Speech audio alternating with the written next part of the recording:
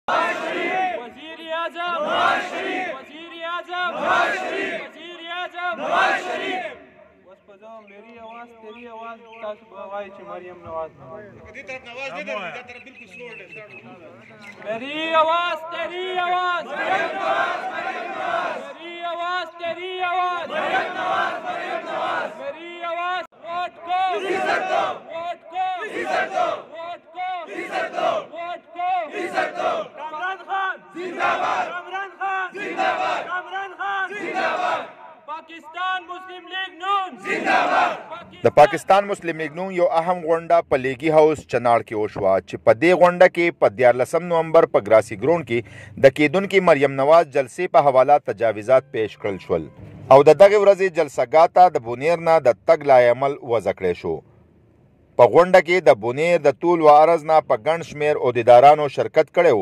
او خپل خپل تجاویزات یې پیش کړل او هڅه یې وکړه چې په دغه ورځ به د ګراسي ګراونډ جلسګاه ته د بونیر نه قافله نه بلکې د کارکنانو یو سیلاب بوتلی شي چې د هغې د پاره مونږ ته په خپل خپل علاقو کې در در او ور ورته رسیدل پکار دي په دې موقع غونډې ته ضلعي صدر سرزمین خان جنرل سیکرټري شاه بخروان ایډوکیټ سابق امیدوار قومي اسمبلی کامران خان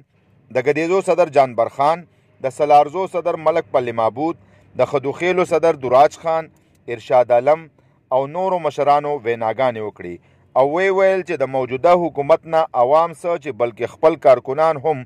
مایوس شوي دي موږ له پکار دي چې دغه خپه عوامو امید روغ شو او د پاکستان د ډوبېدو والا کشتۍ د ډوبېدو نه د بچ کېدو لپاره د نواز شریف، مریم نواز او انجینیر امیر مقام مټې جوړې شو. نو دا مسلم لیګیانو خپل سرونه قربان کړي دي او زمونږ خویندې میندې کونډې شوي دي. او دا غي سرونه په نيزو کې ټومبلي شوی دي او دا پاکستان جوړ شوی دی دا په ډیرو خوارو په دې باندې نن حالات وګورئ نن زمونږ نه ملک خرابېږي نن زمونږ نه ورانېږي او نن زمونږ نه تباه کېږي نو تاسو هم د هغې خلکو الواد یئ چا چې په پاکستان قرباني ورکړې ده چا چې پاکستان آزاد کړی دی نو نن د پاکستان موجوده حکومت دا کوشش ته چې پاکستان دی وران شي پاکستان دی تباہی طرف روان شي او پاکستان دی ټوټي شي نن تاسو وخت دی د دې مشرانو او د دې نوجوانانو چې تاسو را پاسای او دا پاکستان ټیک کړئ او څوک چې پاکستان لا نقصان ورکړي دا غي لاس مات کړي او پاکستان جنډه په خپل ولګوي څنګه مشرانو کې لګولې او ان شاء الله تعالی دا فیصله شوې ده موجوده حکومت ختم شوی دی د موجوده حکومت د نه خبرې روانې دي چې به یې موږ د نه الیکشن په کال کې کوو او موجوده به یو داسې حکومت داسې حالات جوړ شي چې دا به کال چلیږي خو موږ ورته وایو انشاءالله تعالی دا حکومت به موږ په شپږ میاشتې کې کوو او آینده حکومت چې راځي هغه به انشاءالله ستاسو د مسلم لیګ راځي سره د خپل مرګرو د خپل نوجوانانو د مشرانو په نه بجې باندې بچناړ هاوس ترازه دا برال کا او دال کا چې دا بچناړ ترازی او برال کا چې دا ان شاء الله غو مو سره مخ کې په جوړ کیو کیږي او د جوړ نه بعد مشران او زمونږ د والد سی بشا بخروان خان په قیادت کې دا قافله مخ وړاندې زی او دا به ګراسي ګراوند ته ان شاء الله بیو مونږ بس تاسو نه مخ کیو زمونږ مشران بس تاسو نه مخ کیو تاسو به خپل زین نه پات اتو بجو لزان رسوي خو چې بالکل اخیری ټایم زموږ سری دا به 9 بجې چې په 9 بجې باندې موږ د دې ځای نه وتی یو د چې انتظار بني ټول بزان په ټیم را پاسوي ټول به په ټیم را رسي د وخت پابند به جوړیږي دا زموږ د عزت او د بقا جنگ دی دا زموږ د آئین او د قانون د بالادستۍ جنگ دی دا زموږ د قائدینو د بیانیې جنگ دی دې له موږ د بنیر دا قوم دا مشران او دا نوجوانان ان شاء الله په ټیم ځان رسو او ځان به مخې ته رسو فرنٹ لاین سولجر وي ونیر او د هغې دفاع به کوو انشاءالله د بي آر ټي احتساب نشته تاسو وګورئ زمونږ چې کله په مرکز کې حکومت وو په پنجاب کې حکومت وو مونږ په یو کرب روپۍ سلور موټر ویز جوړ کړي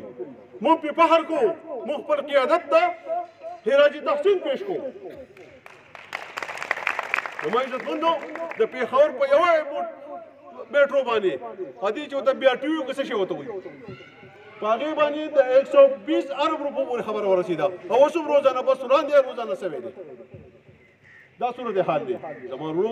موږ سره د خلکو له تبه کار دي اخی ته د دې د مخ او د خپل خو په کار دي چې زمونږ مشرانو څه کړی دي او دا څه کوي نو ان شاء الله چې ټول به تاسو ملګری ټول به د نواز شریف ملګری ټول به زموږ د بیانیې ملګری او تاسو در به خلک جلسې لمزي تاسو سره په تنظیم کې راځي او تاسو له غوټم درکې راتلونکي کامیابی ان شاء الله تعالی د مسلم لیګ را روان په 13 تاریخ باندې با هم چې دینو د سلارزي مسلم لیګ تاسو تخپل مینا خلوص او هغه جذبه چې دی خي زه په دې حواله باندې یو خبره کوم چې تاسو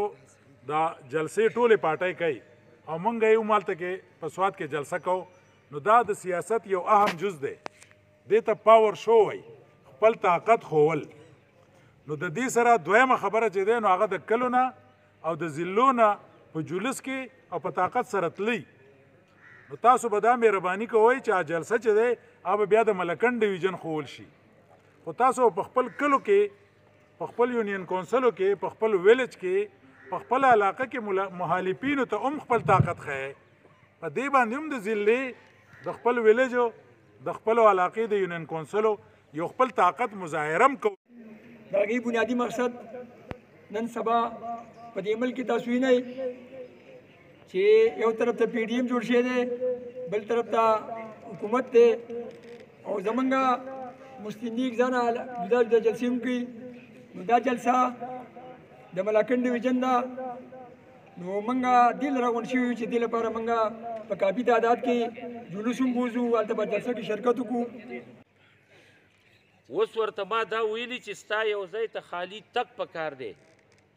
هغه که د هرې پارټۍ سره تعلق ساتي خو چې کله د کامران نوم راځي یا د کامران الته د چا سره ملاقات کیږي په دې تیر الیکشن کې هم ینګ جنریشن چې هغه د پی ټی آی سره به هم تعلق وو هغه ووټ دې کامران ته ورکړی دی دې مسلم لیګ ته یې ورکړی دی تم دا یو تجویز دی زما چې دا سیاست لغونته کې ډیر بدل شوی دی کم از کم چې کم ځای ته لړ شي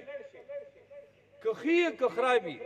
خو یو دوه درې خبرې کول پاغه غم خاده کې لازمی دي د لپاره ټول ځان لګاډي په مختلفو یونین کونسلو وکي او راځي